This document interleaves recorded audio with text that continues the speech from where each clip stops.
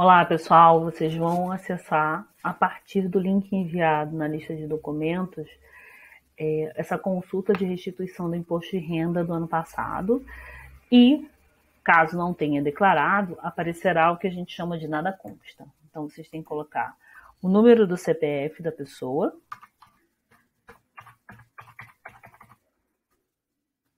a data de nascimento,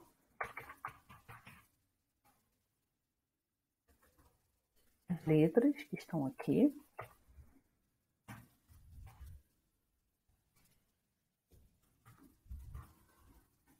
Clica em consultar. E aí aparecerá a informação de que essa pessoa com esse CPF é, não entregou a declaração. Sua declaração não consta na base de dados da Receita Federal.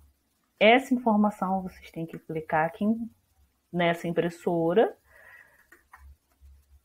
e vai gerar uma forma de impressão.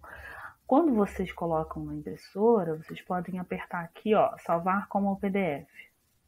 E vocês salvem numa pastinha de vocês, do computador de vocês, para enviar também junto com a documentação é, ao Smart, ok?